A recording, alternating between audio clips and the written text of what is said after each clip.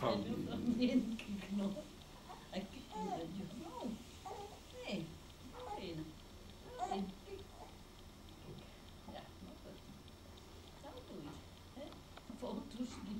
Ja, bij film moet je een beetje bewegen en uh, praten.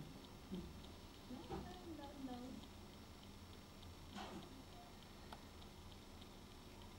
Is Geert van uh, Hakka van Heer van Pieter van Marie.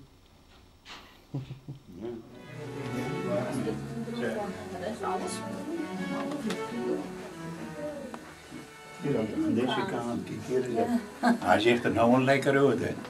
Zeg. Ja, je hebt er nou prima uit. Ja. Ja, lekkere ronde kanus. Het is jorig, hè. Ja, hij is zwart. Hij is ook zwart, hij heeft ook oren op zijn Maar wangen. Zijn hele gezicht is ook horig. Nou, is een flinke knal. Kleine woordjes. Mooi kleine woordjes. En het is niet van mij.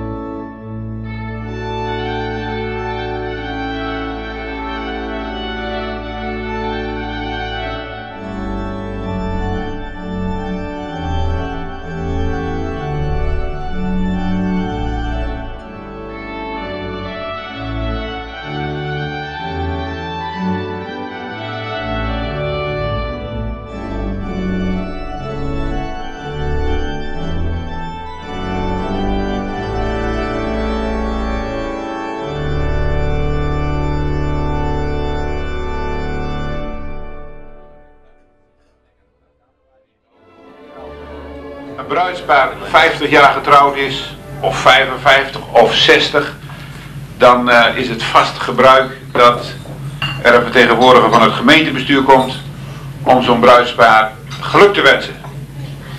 En ik ben dus vanavond graag hier gekomen. Goed gekeken heb in de advertentie, dan is die gelukwens ook voor uw zeven kinderen, 31 kleinkinderen en negen achterkleinkinderen. En die betrek ik dus graag, voor zover ze dat begrijpen, en de kleintjes misschien niet, maar de grote zeker, in die gelukwens vanavond. Want ik moet u melden dat eh, ik een brief gekregen heb waarbij koningin Beatrix mij bericht dat eh, ik u vanavond moet verlenen de eremedaille verbonden aan de orde van Oranje Nassau in zilver aan u, meneer Gersen, zondagschoolmeester van de zondagschool Ebenaar Eze te Urk, gedaan in Den Haag 12 maart, ondertekend door onze koningin. Dames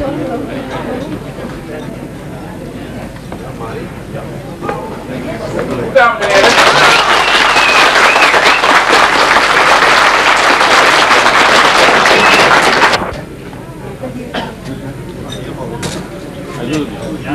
Nou, ik ben hier feitelijk een beetje stil van.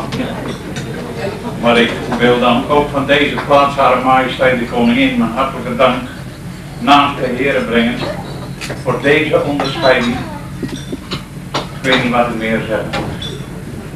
Als ik denk dat mijn grootvader, oude Bart is in die zijn allemaal een kind, 60 jaar korter en voorzinger was, die dan ook door Hare Majesteit gedecoreerd. Ja, daar denk ik aan terug.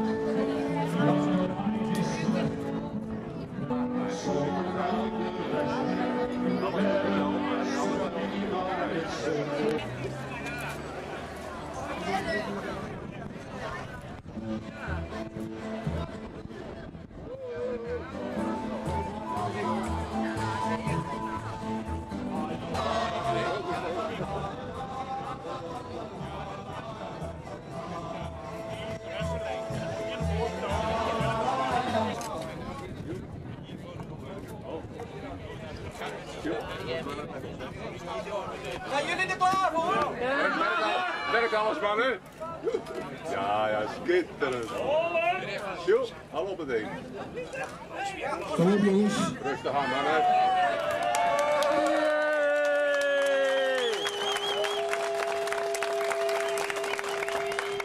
Ik wil je nogmaals hartelijk danken en ik geef graag het woord aan onze burgemeester. Kijk ook eens even trots zijn.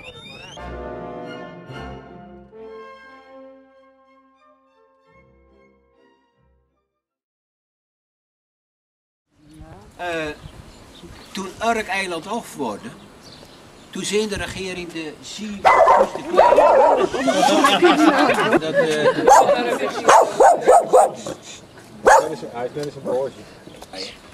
En dat is het wonder van Urk geworden. Hè, de- we hadden zo'n 160 schiet in alles wat ermee te maken heeft. Ja, dat heeft invloed op je verdiensten, op je inkomen. Ik geloof ook zelfs op je huwelijk. Ja, want ik had net in. Hij komt er roog in de kast, zeiknat. Toen zegt juffrouw Vissertje, hoe kan dat nou? Je kon het toch zelf, ja zegt hij. Maar toen kwam die lange bovenmeester eraan en die zag mij niet storen. Ja, toen wist een kind ook al niet wat er boven zijn hoofd hing. maar dat is... Dat herinner ik me nog van. Eh, nou, hij is geboren met twee vingers, meestal die noemden ze de onvoltooide. Dat is ook een beetje een keihard. Toen zeggen ze, wat is er? Had gezegd, dat komt overal vuur. Dat, eh. Eh, nou, gewoon een tuchtje maken. Eh, dan moet je eens om je heen kijken. Als je een beetje een opening ziet, dan is er een usje weggebroken. Maar het waren allemaal smalle gingetjes en de christelijke gingjes. in. Dus.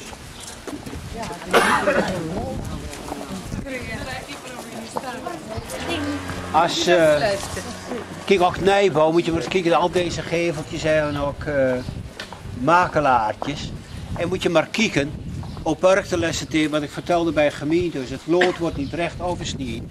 Kijk hoe prachtig de versiering door is. Zie je boven de ramen, boven de deuren. Ja. Hè? Aan dochter om weer eens terug te gaan. Kan ik nog wat voor je doen? Aan nog vragen of zo?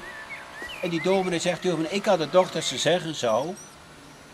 Wat eten niet, wat kleden niet. Weet je wat ze zeggen? Dominee, ik ga volgende week terug. bij mij. In een roel ging ik ochtends in. Toen zegt hij, waarom was jij aan het vechten? Hij zegt, nou burgemeester, ik vloog door het genkje in plaats te schilderen en dan gaf hij me een pomp op mijn rug. ja. Eh, En die tussenbotter, de UK64, dat was Willem van Wouter. Dat is dan eh we net bij die keienstenen. En wat gebeurde er op een maandagochtend, wat ze hem warm stookten daar, want je moest eerst moest je hem warm stoken en dan met aan moest je hem op gang slingen. En toen denk je het niet, kon hem niet op gang krijgen. En Hoekman wist dat niet, ja, motor verkeerde niks, maar ja. Kromhout erbij, toen met de bootsmiddels kwam er een monteur van Kromhout. En die, ze stingen hem op te wachten. En eh, waar legt de botter nou? Daar legt hij en hij zoekt zijn duimstok op. Draait de tank los. Hij zegt als je nou olie in gooit, dan doet hij het wel. Mensen wisten dat niet vanzelf. Nou, en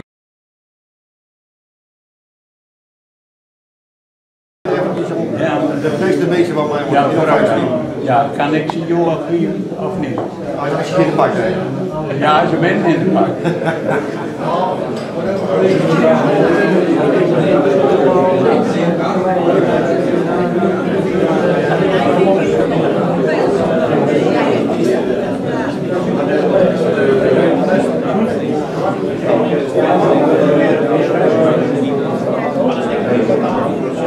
Ik wil voortbouwen op datgene waar ik mee bezig ben. Er wordt in eh, deze tijd eh, veel verwezen naar de 30er jaren. Dat heeft alles te maken met 1932 bijvoorbeeld. Dat was een verkiezingsjaar in de Verenigde Staten. Zit daar. Ik denk dat het maar niet belangstelling ben jij, Pieter. Ja, ja, Pieter. Ja. Even ook bekend, en, eh, vaak eh, als, als je hier op Urk eh, iemand zo bij de naam noemt, dan zitten ze zich af te vragen van eh, wie is dat? Maar als ik nou zeg, ook bekende krant, dat je ook nog kort Overgeslacht. het vijfde geslacht. Het vijfde geslacht. Ja. Ja. Nou, dat is toch prachtig? Nou, die kleintjes die zijn bij me weggekomen, die daar zitten. Die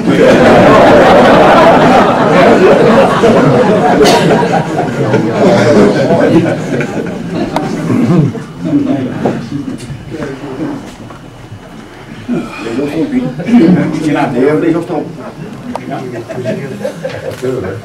moet ik ook Turken landrit. Nee.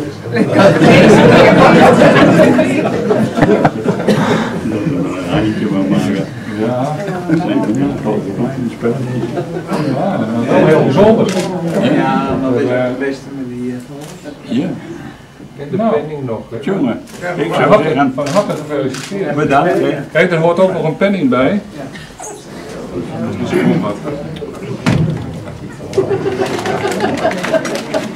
Ik dacht al dat ik binnenkwam voor zit mijn familie hier en toen ging er liggen branden. Je hebt ook al een keer een koninklijke scheiding gehad, hè? Ja. ja. Lid van de Die erbij. Oh ja. Mooie penning, ja.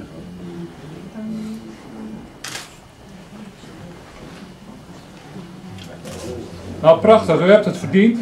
Nou. Want we kunnen allemaal een voorbeeld aan u nemen. Het spijt me dat ik me terug moet trekken een beetje. Maar ja, ik kom hier nog wel. Ja. En ik heb me als reserve gemeld. Van harte gefeliciteerd en ook niet met elkaar zworen, hè? Waarom dan? Leuk, dat is wordt geweest, hè? Dan weet ik ieder van jou.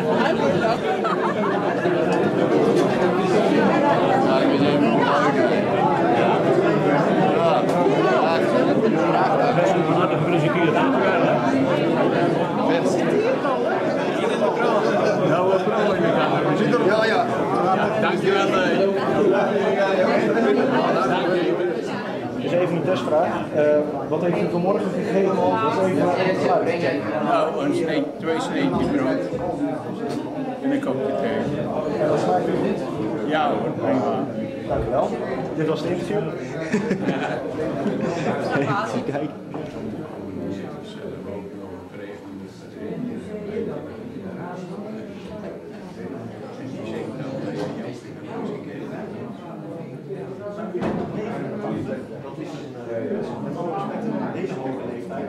Ja, toch? Gaat nog mee doen. Nou, reserve, ik heb maar een reserve. Ja,